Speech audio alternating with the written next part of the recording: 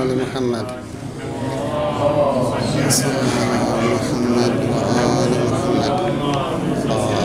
صل على محمد وآل محمد.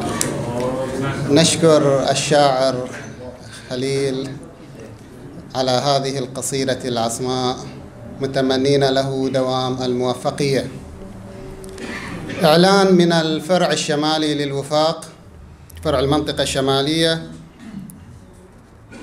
يقيم فرع المنطقة الشمالية للوفاق في ليلة الخميس القادم ندوة بعنوان الأزمة والمخرج في بعدها السياسي والحقوقي والاقتصادي.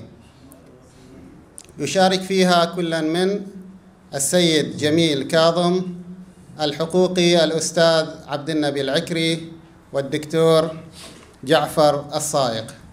وذلك في تمام الساعة السابعة مساء من ليلة الخميس القادم. الشمالية سيدنا.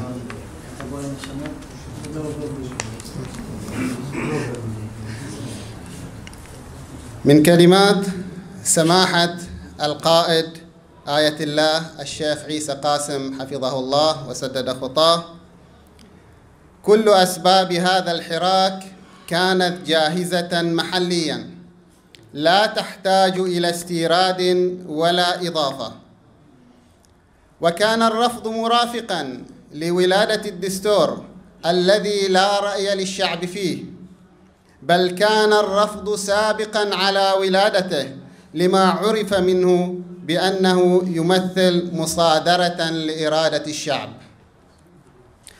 عنف السلطة المتزايد وإعلامها المفضوح والمشاريع الشكلية ومنها التعديلات الدستورية الساخرة بإرادة الشعب. كل ذلك لا يقدم حلا ولا يوقف الحراك الشعبي السلمي ولا يصرف عن المطالب. الحل الوحيد هو تحقيق مطالب الشعب وكل محاولات اللف والدوران وكل أساليب العنف والشدة والقسوة التي تمارسها السلطة لا تجدي شيئا.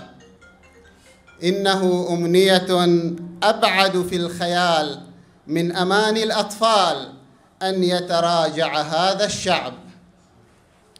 نبقى معكم ومع سماحة السيد المشعل وهذه الكلمة بالمناسبة. السيد مجيد المشعل فليتفضل مسبوقا بالصلاة على محمد وآل محمد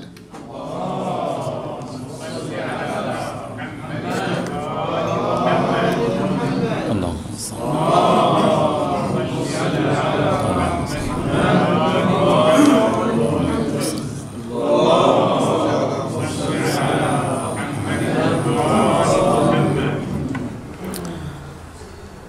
السلام عليكم أيها الحضور الكريم جميعا ورحمة الله وبركاته.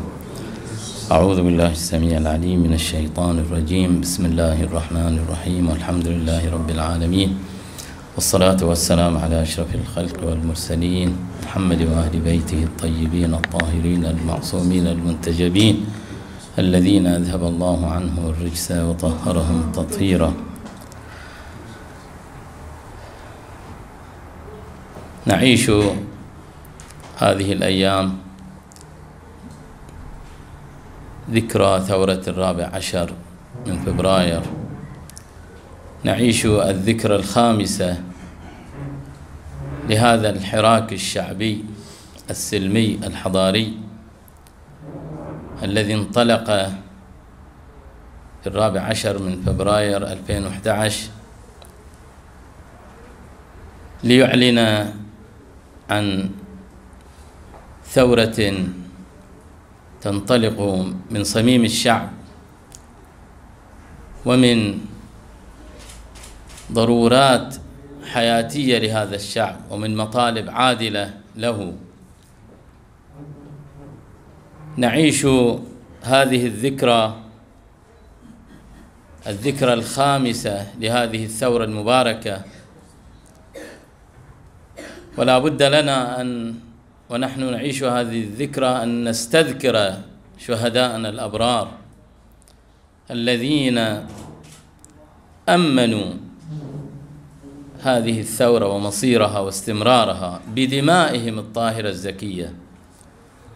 ولا بد أن نستذكر رموزنا وقادتنا الذين يقبعون خلف القضبان لا لشيء إلا لأنهم احتضنوا مطالب هذا الشعب وحقوقه المشروعة ودافعوا عنها وكافحوا من أجلها. لا بد أن نستذ ولا بد ونحن نحيي الذكرى الخامسة لهذه الثورة المباركة أن نستذكر جميع المعاناة والعذابات التي عاشها هذا الشعب بجميع صنوفه وأبنائه. تحمل هذا الشعب الكثير من المعاناة والكثير من العذابات في طريق تحقيق مطالبه العادلة. خمس سنوات من الحراك الشعبي السلمي المستمر. الذي انطلق كما ذكرنا من ضرورات حياتية ومن مطالب عادلة. انطلق من معاناة حقيقية كان الشعب يعيشها ولا زال. يعاني من التهميش ومن الإقصاء. يعاني من الاستفراد والاستبداد. يعاني من الحرمان من المشاركة في تقرير مصيره في إدارة بلده في أن يكون شريكا حقيقيا في إدارة بلده. أن يحظى بحقوقه العادلة في الثروة.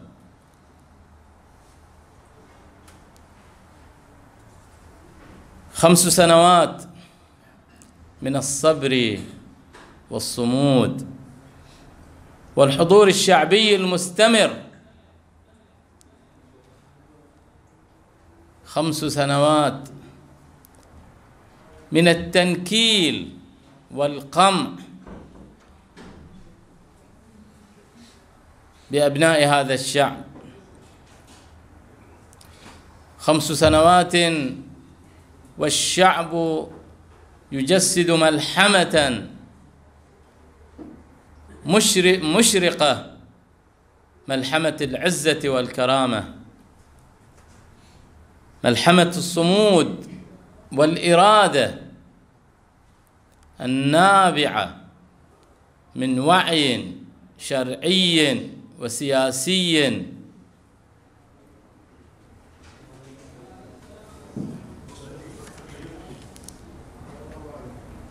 لماذا انطلق هذا الشعب؟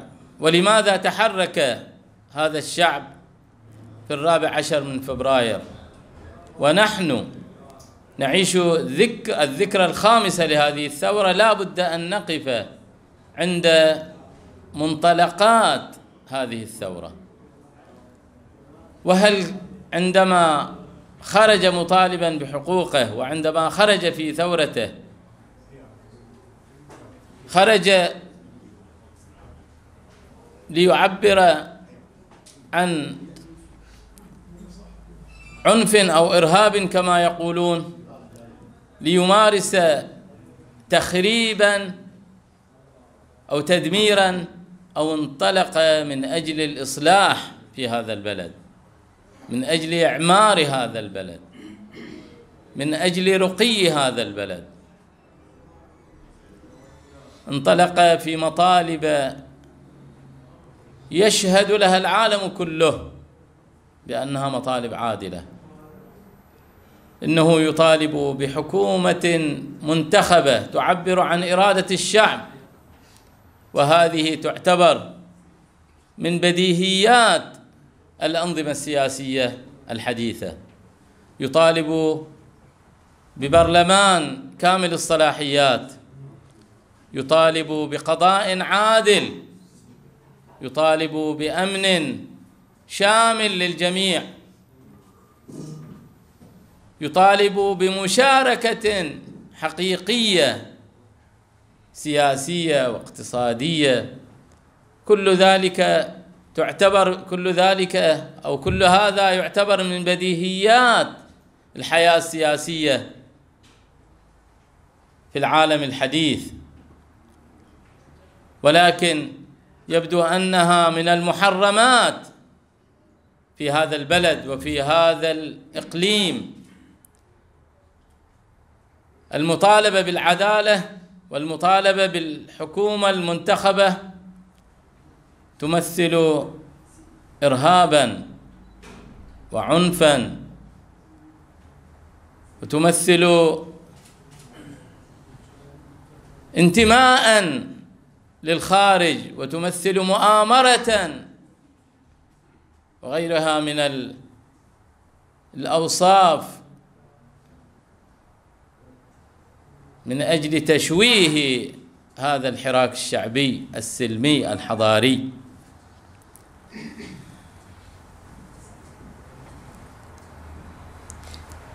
شعب انطلق من وعي إسلامي أصيل ومن وعي سياسي راق في ضرورة أن يكون الأساس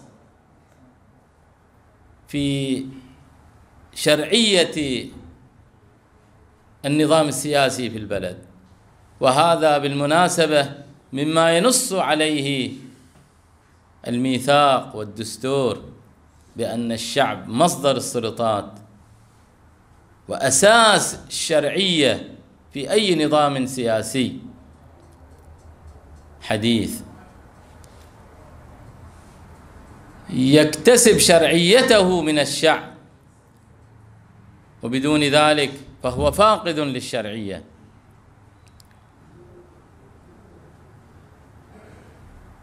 شعب انطلق من مطالب عادلة ومحقة وبديهية وانطلق بنهج سلمي حضاري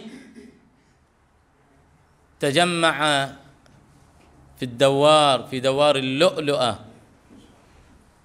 في تجمع حضاري راق لم يتجاوز حدود الإعلان عن مطالبه بالكلمة وبالخطاب وبالمظاهرة والاعتصام. منهج ثورتنا منهج سلمي حضاري أبهر العالم ويمثل مدرسة تستحق التأمل وتستحق التقدير وتستحق الدراسة. هذا التحمل الكبير مع كل المعاناة والقمع والاستهداف لكل مقومات الحياة لهذا الشعب. مع ذلك بقي متمسكا بسلميته. معتمدا على مظلوميته. في تحقيق مطالبه وسوف يبقى.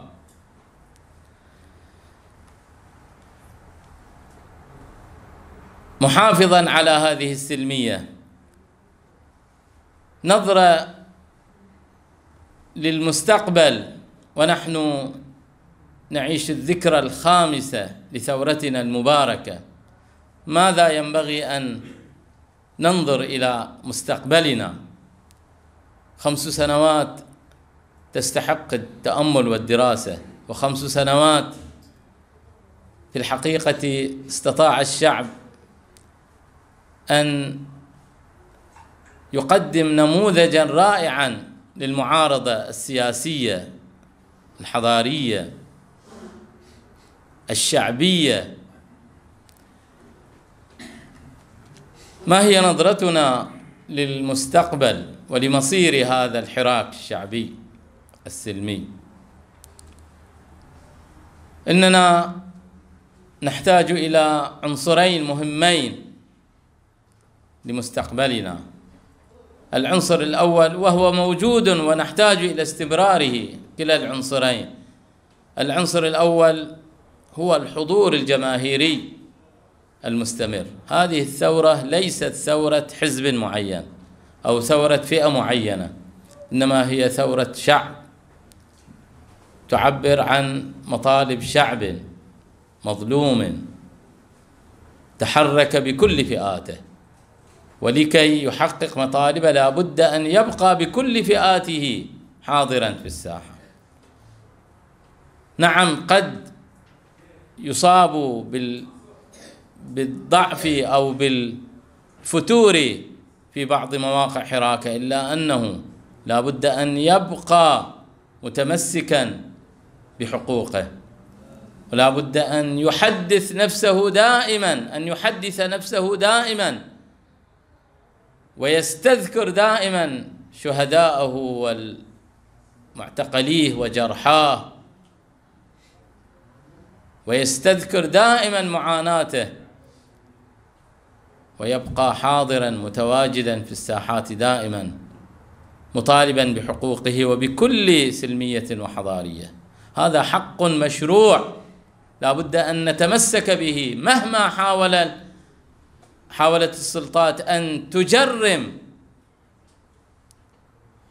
هذا الحق فهو حق دستوري ثابت للشعب. بأن يطالب بحقوقه. والعنصر الآخر أو النقطة الأخرى هي المشروع السياسي. لا يكفي أن يتواجد الشعب في الساحة وإنما لا بد إضافة إلى ذلك أن يكون هناك مشروع سياسي واضح تستطيع المعارضة أن تخاطب به العالم وأن تقدمه للعالم وأن تحرج من خلاله هذه السلطة الذي لا تمتلك مشروعا أبدا وليس عندها إلا سلاح القمع والتنكيل ليس عندها إلا منطق القوة. أما المعارضة فهي تمتلك العمق الشعبي وتمتلك الرؤية السياسية الواضحة والمشروع السياسي الواضح. في ضوء هذين العنصرين نستطيع أن نواصل مسيرتنا ونواصل حراكنا السياسي والشعبي. في ذكرى ثورتنا المباركة لابد أن لابد أن نعاهد شهداءنا نعاهد رموزنا وقادتنا القابعين في السجون. أن نبقى على العهد. وقبل كل شيء أن نعاهد مطالبنا العادلة لأننا لم ننطلق عبثا وإنما انطلقنا من قناعة شرعية وسياسية واضحة. لا بد أن نستذكر هذه المنطلقات ونجعلها نصب أعيننا دائما كما نجعل معاناة شعبنا شهداءنا رموزنا قادتنا نجعلهم نصب العين ونواصل الطريق بكل صدق وبكل عزيمة وبكل صمود.